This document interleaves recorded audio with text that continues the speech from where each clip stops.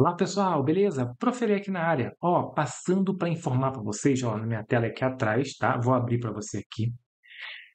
Concurso de Mangaratiba. A gente já vai começar com Estatuto e Lei Orgânica. Então, na próxima videoaula, você tem um compromisso comigo de Lei Orgânica de Mangaratiba e Estatuto de Mangaratiba logo após. Beleza. Mas eu preciso de que você baixe a lei orgânica e o estatuto no lugar correto. Onde? No site da banca. A gente gosta quando a banca deixa disponível o quê? Deixa disponível a lei orgânica e o estatuto para a gente baixar. Olha só, a gente gosta disso. Que, ó, top, Banquian. A Banquian, responsável pelo concurso Mangaratiba, ela já deixou aqui, ó, lei orgânica, estatuto. Você que vai fazer outras áreas, ó, regime escolar é, único, o Código Tributário, o Plano Municipal de Educação. Então, nós iremos estudar lei orgânica e estatuto, tá bom? Nós iremos fazer, vai começar a postar as videoaulas.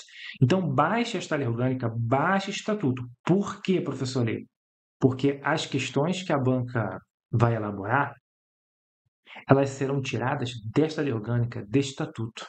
E até se houver algum problema, você, olha, você vai se respaldar. Olha, ô banca, como assim você está cobrando uma atualização que não estava na lei orgânica, que não estava no estatuto que você deixou disponível?